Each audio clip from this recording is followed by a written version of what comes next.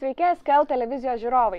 Šiandien sugrįžtame su laida Žvilgsnis iš arčiau. Ir šiandien kalbiname be ne populiariausius brolius Lietuvoje, Lavrinovičius.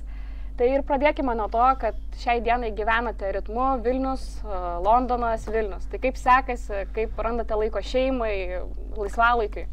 Tai va taip ir randam, taip suderinom, kad e, visiems užtektų po biški laiko.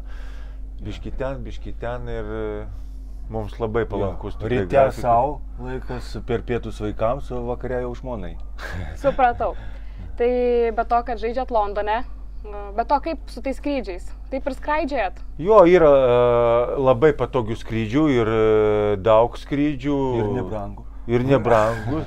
aišku, aišku, iš Vilniaus ne visą laiką uh, užtenka bilitų, kadangi visą laiką pilni lėktuvai, o mes kadangi uh, nežinom savo grafiką, kada mes galim iškrysti arba prieš dieną prieš varžybos ar e, dvi dienas prieš varžybos, tai mums reikia bilietą išpirkti visą laiką praktiškai paskutiniam dienom. Tai tenka dar nuvažiuoti ir į Kauną. Ir iš Kauno grį, arba į Kauną grįžti, arba išskristi. Tai vat, o kaip į lėktuvus lengvai telpat? Kojos. Žinokit, mes niekur lengvai netelpam, bet Nu, bet e, komanda man nu, visą laiką stengiasi nupirkti exit e, tas Taip. prie avarinio išėjimo, kur ten jau... Kurį ką reikėtų jo, gelbėti jums visus. Taip, taip. O jeigu ne, tai būna ir papuola ir žmonės e, geri, kurie pasikeičia bilitais, arba stewardesės, kur pasodina į biznis, biznis klasė. klasė. Tai kažkaip taip. tai kol kas sekasi. O tai kaip jums kilo mintis dalyvauti Skelo čempionate? O mes e, turim e, pažįstamų, kurie, kurie žaidžia e, toj lygoj ir mes tikrai norim dar palaikyti gerą sportinę formą, kadangi žaidžiam dar profesionaliai ir mums idealiausio variantų negalėjo pasitaikyti.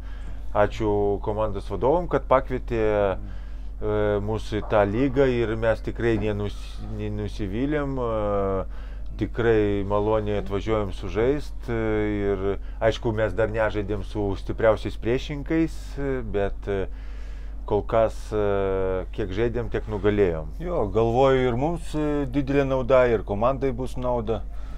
Tai kaip tai suprantu, jaučiatės puikiai. Jo, labai. O gerai. kokie tie pagrindiniai skirtumai? Vis tiek tikrai, manau, jų pastebite tarp profesionalaus krepšinio ir tarp mėgėjų krepšinio.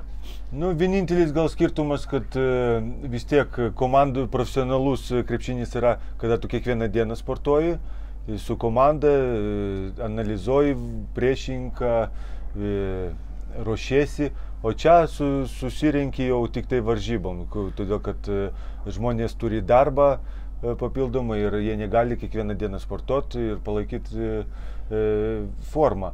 Ir taip vieną dieną vienas atvažiuoja, kitą dieną kitas, tai vat, ta, vat, kur skirtumas, kur tu nesusižai, ne, nesusižaidė su jais ir vis tiek ten keletą darinių paprastų, kokiu ten iš, dar iš iš kitų komandų žinai ir tokį pasitarį su Hebra, kaip ginamės, kaip, kaip, kokius darinius ten porą keletą darai ir viskas. Šiaip susižaidimas, aš manau, ateis e, jau e, prieš plofus, kada jau tikrai e, lemiamos kovos bus. Dabar toks, aš manau, kad tokiam lygiai, kaip SKL, tai aš manau, kad svarbiausia yra plofai, kadangi dabar tu bet kokį gali vietą užimti, ir, o būti optimaliausiai sportiniai formoje per plofus ir, ir pasiekti rezultatą. Tai vat, aišku, to, to lygoje aš manau, kad neapsės be traumų daug žaidėjų, kadangi vis tiek kūną tu pastovi turi laikyti tonuse, kad išvengti traumos. Tai aš manau, kad... Tu, tu, tu. Jo, kad svarbiausia. Dešinį petį. Taip. Tau per dešinę ir man. Šiaip jūs esate toks neatskiriamas tandemas. Jeigu matom vieną brolį, visą laiką matom ir kitą brolį. Ir jau kelis metus iš eilės žaidžia toje, toje pačioje komandoje.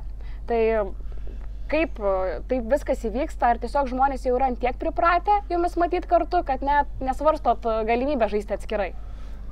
Žinokit, mums labai malonu pažaisti kartu ir mes dabar iš viso pavyzdžiui, mieste eini vienas ir net nieks nesifotkina, o kada dviesi, tai, tai jau visi polai fotkinasi. Nu, aišku, ir po vieną fotkinasi, bet, nu, e, turiu, prasme, mums e, e, dviems e, kažkaip tai mes jau ir žmonės jau pripratę, ir, ir mes jau paskutiniu metu dviesi kažkaip tai ir turim savo bendrą tą e, Tikslą, jo, tikslą tokį- tokį su. Laftvinsu savo projektu ir mums būtinai reikia būti dviem. Taip. O aš, jeigu neklystu, jūs krepšinį pradėjote lankyti ganėtinai vėlai. Ką Trijos veikėte iki tol? A mes e, ką, karate lankėm. Uh. Ir Ne, kas nepasisekė, rūgis pa, pa, pamaišė ten būti. Ne, iš tikrųjų ne tai, kad ne, pas mus nebuvo tikslas būti karatistai, ten kokie e, tokio kovo meno sporto, sporto atstovai, bet mes visą laiką e, eidavom tenai, kur e, mūsų draugai, kiemo draugai eina sportuoti. Tai buvo ir baseinas, ir e, lengvoji atletika, ir karate. E, ką mes ten dar lankėm? E, nu, tinklinį eidavau pa, pažaisti, eidavom laukia futbolą, ledo rytulį žaisdavom. Tai mes praktiškai su sportu, e, su spro- sportu buvom visą gyvenimą ir iki kre- krepšinio susiję ir e, stengiamės. e, visą- mažens, jo, Taip, norėjom dabar- nugalėti visą laiką, jeigu žaidžiam, tai gal tas postumis ir buvo mūsų pasiekti kažką. Na, kada jau 13 metų tėvai, nu, sako, vai, vaikai, nu, tai reikia į krepšinį su tokiu ūgiu. Nes atsimenu, kaip dabar atsimenu, mama atnešė laikraštį ir ten buvo e, tas e, reik- Skelbimas. skelbimas, kad e, renkam vaikus tokiu Šarūno amžiu, Marčelio amžiu krepšinio krepšinių, jo, šarūnų. Ir mums dar trūko ten kažkiek tai, atsimenu, centimetrų ir, ir mes dar atsimenu, pirmą dieną einam, bijom, gal nepapūdžiam, nepraeisim. Atsimenu, Jo, ten- treneris Vytautas Patilinas pamatė, ateikit čia. Atsimenu, jo dar su kėdais tokiais laukiniais, sakom, Su kaip lakėtom. su juo, su... Slystom ten. Nieko, nieko į salę davai, nu, kaip ant pačiūžų ten slidu. Nu, o Hebra juokėsi, mes ten, nu, visi jau moka, ten 13 metų, jau ten driblingas, mytimai, o mes dar, nu, krepšinį mes... Dar mes palauk, ar taip, man atrodo, dar mes davom, kažkaip, ar tai va iš... Na. Tai dvižingsnį, atsimenu, kad dvižingsnį mūsų mokindavo dar Taip, taip. 13 metų dvižingsnį mokėjom, mes nemokin, nemokėjom dvižingsnį taisyklių. Tai visgi jumis tas komandinis sportas labiau sužavėjo negu individualus. Jo, nu mes kažkaip tai, nu, e, mes iš pradžių kaip vaikai buvom, tokie buvom, e, ne... Ne Neištvermingi. komunikabili- Ir, nu, taip ir šiaip komandoje mes buvom gal dėl, e, e, dėl e, kalbos, lie- lietuvių kalbos nežinojom, tai lietuviškai nelabai kalbėjom, nors ir dabar nelabai dar. Nu, bet, bet ir taip kažkaip tai, o paskui kaip jau pradėjom kalbėti, jau viskas, mes pradėjom tokie mes Geriau pa- komunikabalus, mes e, jo, Taip. komunikabalus ir... E, Jo, pradėjom, pradėjom jaustis kaip savo lėkštį, savo vėžiuose ir, ir mums tai toks postumis buvo jau maloniau eidav- eidavom jau- Individualiuose šakose abejoju, ar mes būtume pasiekę. Aš manau, kad kažką ten. jo sportos labai mes nebuvom, mes buvom fiziškai silpni ir e, gal trukdavo mums ištvermės, kad e, individualiam sporto šakoj, individualioje sporto šakoj kažką tai pasiekti. Aišku, mes sportuodavom, bet ne, nebuvom tie tokie užsispyrėliai pilnai, kad turiu pilnai kažką tai laimėti. Tai minėjot, kad e, pradėjot išlankyti krepšinį tuo metinėje Šarūno Marčiulionio akademijoje. Ir e, tai tie pirmi metai tokie ir tikriausiai buvo, kad visko mokėtės, to, ką jau kiti seniausiai darė. Tai be abejo, tai, jo, tai. Taip, e, Nu, treneris imdavo į varžybos, mus veždavo, bet laiko negaudavom žaisti, tik tai, vat, kad būtume su komandai, tai taip, nu, Tai, ma, nu- matė perspektyvos, gal. taip, matė, tiek vis ūgis buvo, medžiaga buvo, tik tai reikėjo vat, padirbti su mumis ir, ir gana prad- pradėjom greitai tobulėti, pradėjom, pradėjom gaudytis toj sporto šakoje ir, O, ir gavosi, kas gavosi. o ar palaikote dabar dar santykius su treneriu? Be abejo, be abejo. Palaiko, be- supratau, puiku. E, tai dabar žengėte to savo pirmosius žingsnius jau mėgėjų krepšinėje. Profesionalo karjeroje jau viskas aišku. Taip. Tai e, galit gal papasakot, nuo ko tada jūsų ta profesionali karjera prasidėjo? Prasidėjo mūsų profesionali karjera, irgi vat, paminėsim e, tą patį mūsų pirmą trenerį Vytautą Patiliūną, kuris e, išvažiavo, man atrodo, net jisai iš vaikų mokyklos, Šarūno Mačiulio krepšinio mokyklos, jisai išvažiavo, aš neatsimenu, ar jisai, Ne, jisai Alytus- LKAL dar vienus Jo. metus, man atrodo, su Alitaus savy buvo tokia A lygoje komanda, tada vadindavosi antra, dabar NKL vadinasi. Ir jisai metus ir jie pateko į LKL. -ą. Ir automatiškas treneris, e, ta komanda buvo Vilniui ir paskui ta komanda persikėlė, kada į LKL papolė, persikėlė į Al Alitų, kadangi e, atėjo rėmėjas e, Alita Taip.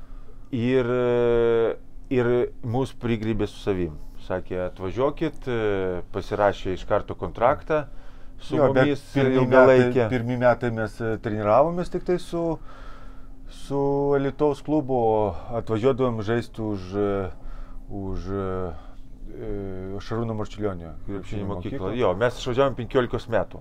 Tai va, norėjau paklausti, kiek jums Taip, metu metų buvo. 15 15 metų, bet 16 metų mes jau buvom pagrindinėje sudėtyje, bet e, dar e, ne- nelabai žaisdavom, nuo 17 metų mes e, Jau pradėjot jau pradėjom po biškį jo. Puiku. Pradėjom pa, padė- padėti biškį komandai. Tai e, jūs šiais metais, kiek irgi žinau, turėjot pasiūlymą žaisti Marų komandoje pas savo pirmąjį trenerį. Taip. Kodėl atsisakėte? Kodėl pasirinkote sporto namų komandą? E, Visų pirma, tai teisingai ir e, labai gaila, aš e, tai- taip kaip ir iš esmės biški pavėdėm treneriai, bet jie žaidžia pirmadieniais. Mhm. E, jie žaidžia pirmadienį, mums labai netinka, todėl kad mes būna e, sekmadieniais turim e, Londone varžybas, pas mus arba šeštadienį, arba sekmadienį.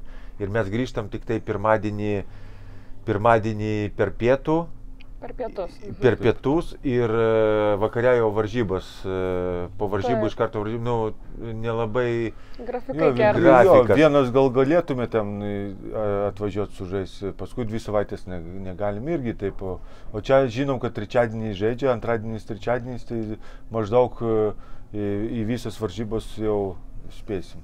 Supratau. Taip. Tai kokie tie įspūdžiai po pirmo mėnesio mėgėjų krepšinėje? Ar tas kolektyvas geras? Žiauriai gerai. Taip, tai mes e, daug žaidėjų pažįstam e, iš seniau. Ir Aivras Kiaušas pas mus, ir Orlandas Kisgirys, ir trenerio asistentas e, e, Matulis. e, Tai e, mes e, kaip ir e, daugumą pažįstam. Tai, o kiti, tai mes iš matymo, kai- kaip kurios e, matė, bendravė, tai nebuvo sunku, nebent jie- jiem su mumis sunku. Susitvarkyti su dviem broliais. Ne, ne, iš tikrųjų labai gerai prieimė, tai Tai. Bet iš tikrųjų va, ta gera atmosfera labai priklauso ir nuo to, kaip komanda bendrauja vienas su kitu ir elgesi rūbinėje. Tai kas yra tokia va ta siela, kur sukuria gerą atmosferą rūbiniai? Aš žinokit, visi kol kas, e, visi pozityvūs, visi gerai. Žinot, kaip mes dar laimim, tai, nu, Visai Vis- kitaip. taip, Veidas kada- pasimato. kada jau pra, Po pralaimėto. po pralaimėtų jo varžybų. Kol kas, kaip laimi, tai vis, visi patenkinti. O, nu, tai pas mus kol kas, nu, mes dar nebuvom dar Per mažai laiko, dar reik- nebuvom dar išėję sulčių atsigerti su Hebra. Supratau. O tai e, reiškia dabar šiai dienai dar nesat patyrę to pralaimėjimo skonio. Viskas yra laimėta. Kol kas taip. Jo. Nu tikėkime, kad tokie va, taip ir žingsniuosit tam čempionate. Nu, tikimės jo. O grįžtant vat, prie to profesionalaus krepšinio arba nebūtinai, a, taip pat įdomu, ar esat kada nors per minutės pertraukėlę arba ilgosios pertraukos metu pasikeitę marškinėliais? Kad vat, pasijutėt vienas blogai ir kažkuriam reikia žaisti. Ne, tikrai taip nebuvo, bet gal bus dar. tai ištrinkit. Žinokit, tai mes panašaus lygio, tai nėra prasmės keistos marškinėlius. Tai koks skirtumas? Tai mes e, praktiškai vienodo lygio žaidėjai ir tas pakeitimas marškinėlių nieko jisai neduoda. Mhm. Koks skirtumas ar brolis eis ar aš. Aišku, buvo minčių ten e, pas vieną trenerį tokie, bet aš manau, kad e, labiau su ironija jisai taip e, sakė, su tokia kaip bairiu, tai e, bet rimtai tikrai nebuvo. Supratau. Tai kokie tie jūsų tikslai dabar yra mėgėjų krepšinėje? Tikslai, laiką pas mus tikslai dabar, svarbiausia dabar susižaisti kaip komanda, kad komanda susižaistų iki lemiamų varžybų, kad nebūtų traumų, o ant playoffų, ant svarbiausių varžybų be abejo, be abejo pasiekti jo kokį medaliuką. Iki Supratau. medaliukų daryti būtinai reikia. Reikia, norisi Taip. pasipuošti tą pirmą sezoną. Tai tuo. be abejo, tai kaip čia be medalių. Nu, tai... Gal dar ir taurę pavyks iškelti. Mes visą laiką galvojam, jeigu darbą daug įdedi, tai e, gerai būtų, kad e, tas darbas e, būtų atminimui, nu, vat, kažką tu Kompensuotų, kompensuotų kažką. Todėl, kad, Kad e, atsipirktų. labai, labai skaudu, kada tu visą sezoną dirbi, dirbi ir stengiasi, atiduodi daug jėgų, o nieko nepasiekė. O kaip su to susitaikot? Vat kaip, vat taip atrodo, visą sezoną nuoširdžiai dirbi, Taip. Nu, pas Ir mus va- karjeroje tai pasisekė, kad mes praktiškai kiekvieną sezoną bu, kažką laiminėdavom. Pas mus vienintelis sezonas čia buvo praeitas, tai kur mes e, nelaimėjom nieko su, su prienais ir čia vienintelis buvo. Aišku, sunku Jo. buvo, bet e, Jo, asmeniškai sunku, e, sunku buvo ir po, kiekvienos, e, po kiekvieno pralaimėjimo ir mėgių naktų ir analizavimo daug, bet e, e, ten tokia man pasirodė atmosfera buvo praeitais metais, e, kad e, mažai kas pergyveno dėl tų pralaimėjimų, dėl gal nebent e, tre, Šeškus. treneris Šeškus vienintelis e, vaistus e, nuo nervų gėrė. O šiaip, šiaip tokio vat nebuvo, tokio vat kaip kitose komandose, nu, matosi, kad žaidėjai čempionai širdyje ir jiem sunku tą ištvert. O praeitis metų toks, aš nežinau, toks kažkoks tai gal disbalans, pergyveno. disbalansas, kažkoks, nu, kažkoks tai, nežinau, toks e, buvo keista iš pradžio, paskui, taip sakau, kaip pripratai ir e, paprasčiausiai tu pagal tą srovę, jo, pagal tą srovę plauki ir nieko negali padaryti. Jeigu nuo tave vieno asmeniškai kažką tai priklausytų, tai dėl kad čia turi būti mechanizmas, mašina, kuri užsikurti bendrai. Vienas tu praktiškai aplink geriausią žaidėją, tu pastatyk viską, jisai tau į vienas nieko nepadarys, jeigu kitiem nebus motivacijos. ne veltui krepšinis yra komandinis sportas. Taip, taip.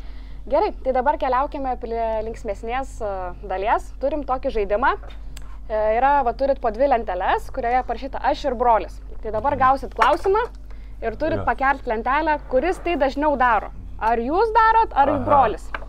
Gerai, Gerai. o tai gerai, kas pralašė nusirenginėje ar aš? Ne, tiesiog, bet pažiūrėsim, kuris iš jūsų geresnis brolis. Na, Gerai? Taip. Tai kuris iš jūsų turi geresnį stiliaus pojūtį? Nežinau. Brolis. Va, va. Vienodai apsirengę, tai brolis ir turi būdu, geresnį. kai kaimietiškai rengiamės. nu. Kas geriau mokėsi mokykloje? Gerai. Toliau. Kuris iš jūsų yra vyresnis? E, Vyresnis, palauk, dar reikia pagalvoti. Brolis. Gerai. E, kuris dažniau sukuria gražesnius žaidimo epizodus? Gražiau įdeda, gražiau apeina varžovą. Va. Taktiškai viens apie kitą. E, kuris labiau mėgsta stebėti NBA?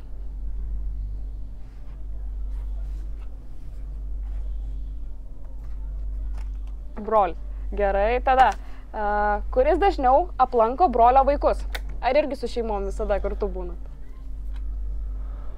Va, broli, tai nežinau. Va, gerai. Kuris iš jūsų būtų geresnis treneris? Geresnis treneris.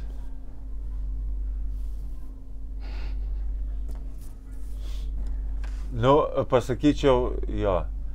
Kad Kodėl? išreikalautų, tai turbūt brolis jau galėtų. Visko labiau. maksimumo labiau. Nu, po maksimum jau darytų visi. Kuris dažniau laimi viens prieš vieną? Jeigu dar Nu, lieka laiko. Kadangi aš pasiduodu dažnai, tai tikrai. Kuris taikliau pataiko tritaškius? Tai aišku, tai aišku, kad brolis. Kuris labiau paklūsta treneriui? Klauso trenerio nurodymų. kuris labiau rūpinasi prekiniu ženklu Love Twins? Labiau? Labiau. Gerai. Kuris dažniau gauna techninę pražangą? Tai būdų negaunam. Kad Aš nežinau, mes daug kažkaip tai mūsų e, teisėjai labai no. gerbė kažkaip tai. Nors mes ir piktai būna pasakom jiem, e, emocijų, emocijų nevaldom, mm dažnai, bet mūsų kažkaip tai ne, nebaudžia. Tiek, Nu, tiek, aš, tai aš manau, žinai, nu, aš vienintelį, e, todėl kad brolis daugiau žaidžia dabar paskutiniu metu, tai brolis daugiau gerai, gauna. tai Aš- būna aš. Gerai. Bet šiaip jo, man, mes nedaug. Per sezoną, jeigu vieną antrą gauni. Tai... Neišprovokuojat teisėjų kitokio. Kažkaip tai jo, lai, sulaikom tą, sustabdom tą, jau matom, kad jau jo. Gerai. Kuris iš jūsų labiau mėgsta adrenaliną? Dažniau ant karuselių nueina arba šoka iš parašiuto. Tai, Nu tai čia mes, e, kaip pasakyti, pas mus toks charakteris, mes to adrenalino gaunam tik tai prie progos, kada vaikai nueina, tai mes kartu, Jo, arba šiaip kažkur mes tai mes nesam nesam, tokie, kur uh, vot, reikia jo, jo. Važiuoti kažkur tai atrakcioną kokią. Neieškot patys Ne, ne, ne, ne. Ant Mums užtenka, jo. Ant savo užpakalių kokį nuotikių neieško. nu, mes jo, mums užtenka ir taip gyvenimą. Taip. Kuris dažniau naudoja necenzūrinius žodžius? Rungtynių metu, žinoma. O kad Abu du naudojam. E, toliau. Kuris iš jūsų daugiau kalba? gal Mhm. aš biškai, bet... Jisai kalba, jisai kalba, aš, aš darau. Aš, aš nesąmonės kalbu, jisai mažai, bet tiksliai. Kuris iš jūsų prie stalo ištvermingesnis? Prie stalo, nu, Ta prasme, pavalgyti ar Taip, išgert? taip, taip, aišku, pavalgyti. nu. Pavalgyti. Nežratsam. Tai nežinau, Nu, gal aš paskutinį metą. Nu čia apie nepavalgymą. Nu. Arba apie valgyti, apie pavalgyti mes nesam e, va, val, valgymo Nu. e, šitie. Jo, fanai. kaip yra, ne, kaip yra, ne, kaip yra, e, kai kurie žmonės gyvena, kad valgyt, o yra žmonės, kur- e, valgo, kad gyvent. Gyvent, tai vat mes e, tie, kurie Valgo, valgo, gy- kad gyvent. Kuris iš jūsų dažniau pamiršta derinius? Aš jo. Nežinau, tai pamirštama būdų, kad digonės trūksta, smegi, nuo nuovargio jau digonės Taip. trūksta smegenėse, tai yra viskas. Kuris iš jūsų dažniau flopina per rungtynės? O, čia mūsų mėgstamiausias. Na, nežinau, Abu- kažkaip. Nu tai, abu. Abudu. Varom, varom normaliai. Kas Gerai. mūsų. Tai viskas. Ačiū Jums tada šiandien. Tiek ir norėjau, buvo labai smagu ir iki pasimatymo rungtynėse. Ačiū labai. Ačiū.